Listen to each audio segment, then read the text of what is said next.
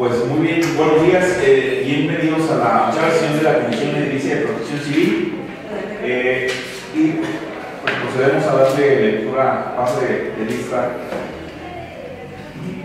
Francisco Javier Rodríguez Hernández, Gustavo de Jesús Navarro González, María de Jesús Gómez Carrillo, Francisco Javier Hernández Hernández, Enrique Alejandro González Existe quórum legal, ciudadano presente, eh, existiendo 5 de 6. Sí, muy bien, pues eh, agradeciendo la, la oportunidad para darle salida a, esta reunión, aprovechando estos, este intermedio. Eh, comentarles que en esencia el, el punto medular del motivo de la, de la sesión de esta comisión es básicamente eh, poner a consideración la situación del convenio de, capacitación en, específicamente en protección civil para lo que es estructuras colapsadas, rescate de estructuras colapsadas. Ubicar que esto es una situación obligada porque se una capacitación tanto para el desempeño como para el desarrollo considerando que de una manera de consolidación de los equipos de protección civil es ir a, a teniendo mayores capacitaciones para ampliar su gama de, profesionalismo.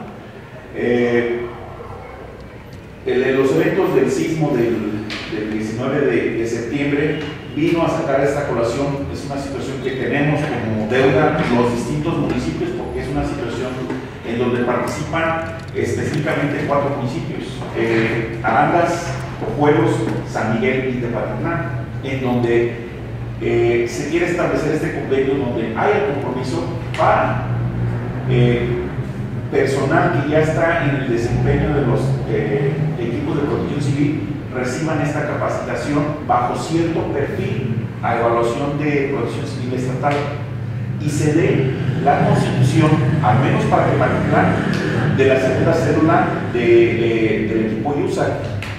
Con esto tendríamos dos equipos y estamos sentando también bases para que en un futuro, esperamos no, no muy lejano, pueda eh, constituirse eh, una base de protección civil, pero como una situación de crecimiento de protección civil estatal, bajo, el, bajo la, liderazgo de protección civil estatal, pero invariablemente que sería eh, una situación de compartir el equipo que ya tiene aquí el municipio con preparación y capacitación.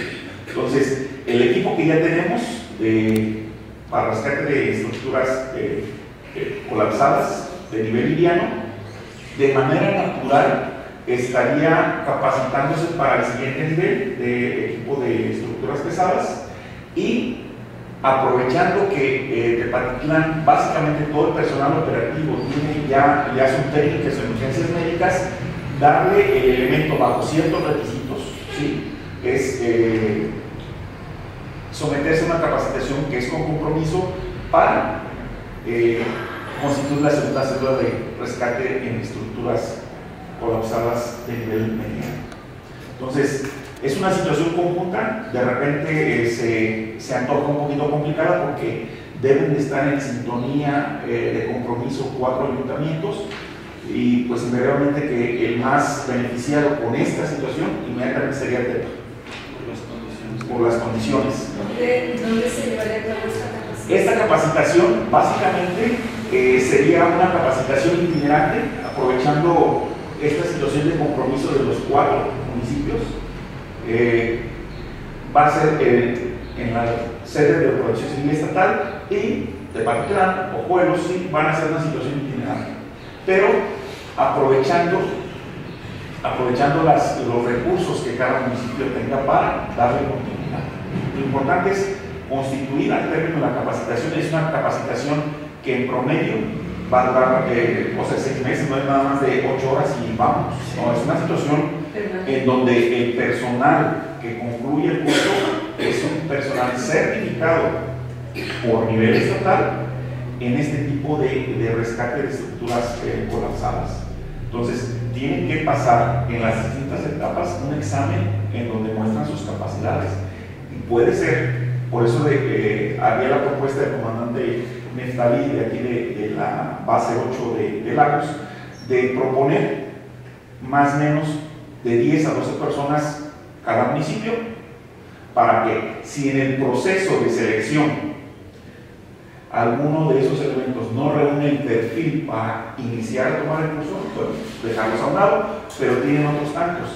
Y si en el transcurso de los distintos exámenes algún elemento también por la cuestión de, para algún tema en particular, no, tuvo la, solidez en cuestión de, de, capacidades, bueno, tiene todavía un remanente importante de elementos con suficiente capacidad para constituir esa segunda célula que, hace falta. Ya lo vimos este, ahora en 19, básicamente la célula que fue en apoyo a, los sismos de México, esencialmente era personal de Tepa, un personal de Arandas y un personal de San Miguel, pero era un solo elemento. Un elemento. Sí.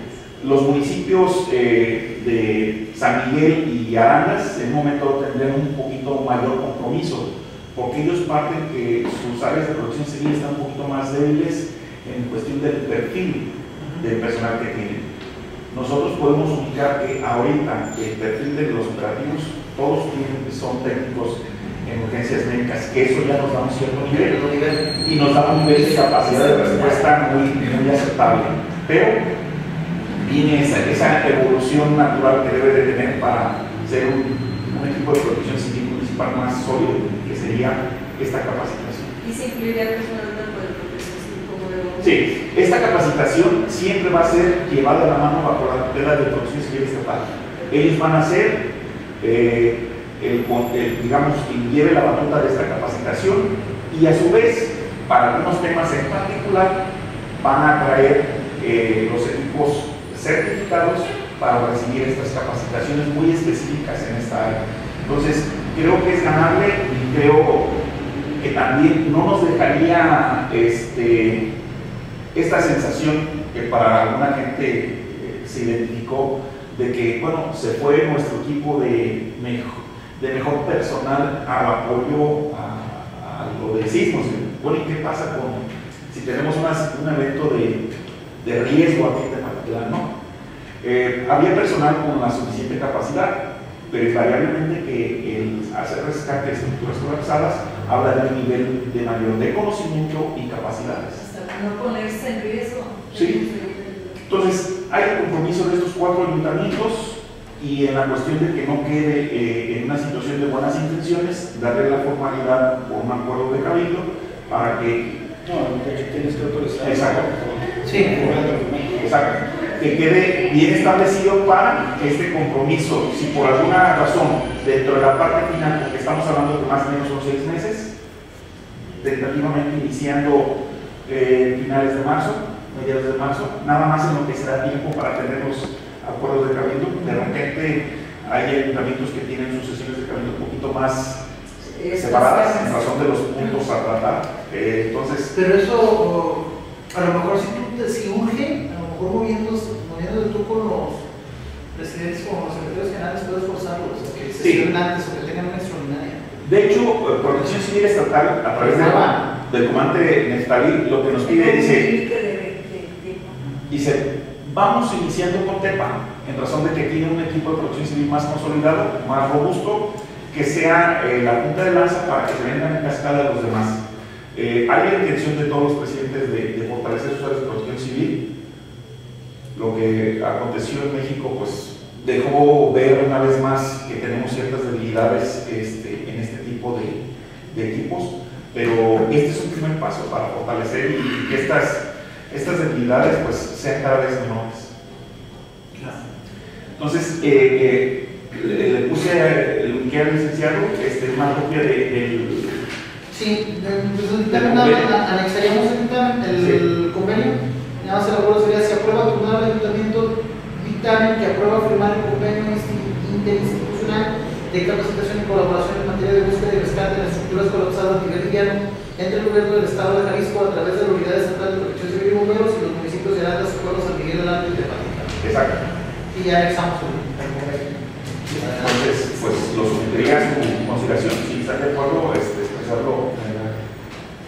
Pues, ¿Algún punto malo que tuvieran en el área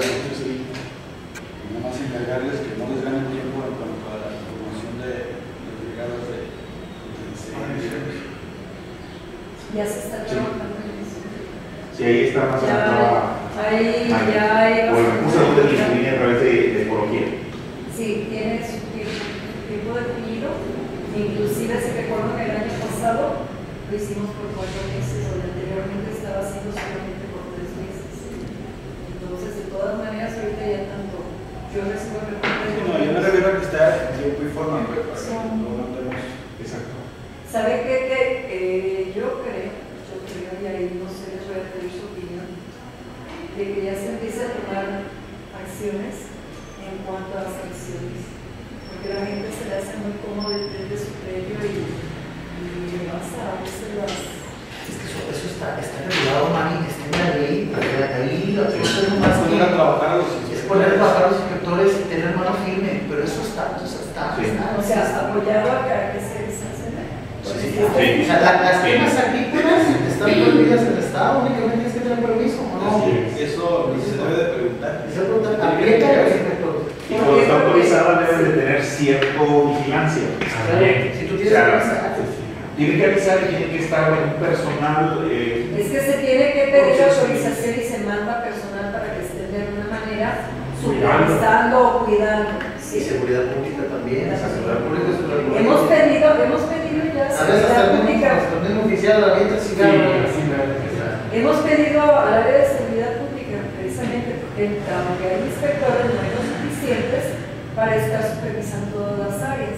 Y quienes realmente andan en todas las colonias, rincones y demás, es seguridad pública, ya se les ha pedido la de que ellos nos apoyen precisamente a hacer un reporte inmediato, porque sí hay, por ejemplo, ha habido problemas de casas, de que prenden el barril de un lado y que llega, hay una fuga de gas en el tanque y se da. Sea, catástrofes, catástrofes que se pueden evitar. Antes, antes en San Ignacio, cuando hacemos una quema, tenemos predios que son de de San Ignacio, siempre iban, iban los de protección civil y de protección a apoyarnos a hacer la quema. Con sus pompas, su camioneta de agua, todo. Planeado, pues. Diario nos, o sea, nos solicita el permiso de quema. Incluso iba todo el equipo a apoyarnos a Incluso a veces yo le decía, para el municipio, yo le decía cuando estaba por el delegado, incluso iban seis o siete y nosotros les sea, como yo por que van, vienen seis, Es que y entonces yo, yo les. Como horas extras. Exactamente. Y viene a gusto que quemamos, no había ningún problema. Y ya un riesgo, si se activa, pues ya no era culpa, ¿no? Se nos iba, llega un borrascón, vuela una Sí, sí, sí. casa, se pierde todo, ¿verdad? Sí. El año, el año pasado, para, para tiempos de marzo, la prepa regional, precisamente la de Colosio, le dieron un predio de un lado hacia arriba y se brincó a la prepa. Incluso la barda es, barra y reja, barra y reja, pasó, se quedó la pues, se tuvieron que suspender clase. A madre ya no podía estar dentro de los salones. Y el día de cuartos también pasó. O sea, sí. Ya, ya no puede estar adentro. Imagínate el riesgo. Ah, Muy bien, pues eh, siendo las 12.32 del día 11 de enero de 2018, clausuramos la de